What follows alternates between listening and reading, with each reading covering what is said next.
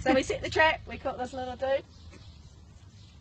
Or girl, we don't know yet. and now we need to get him out or we need to touch his siblings. We already have mum and the other two siblings at home.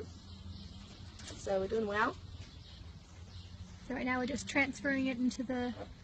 Maybe you can do Kitty- commentary. kitty That might be a bit easier, then I can concentrate. and Yeah, yeah, yeah, at it go." Yeah, transferring little kitten into cat carrier.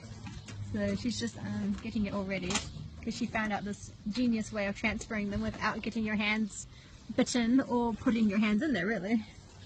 we just put that over him to give them a bit of Protection. Oh, it feels sheltered when you've got a when you've got a, a cloth over it. Alright. Alright. Put up carrier to door of trap. Open. So the cage swings inward and the uh, cat carrier's door swings outward.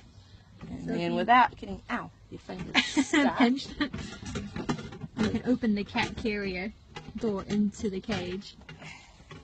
So it's kind of like a direct access route for the kitchen.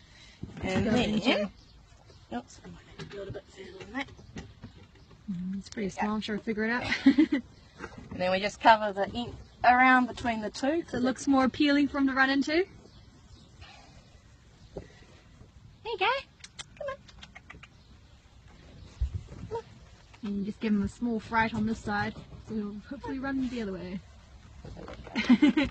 Look intimidating. Look intimidating. Oh, there you go. That was pretty intimidating. Very intimidating. And then it's about closing that without having them Come back back out again. Yay! Just like that. so easy.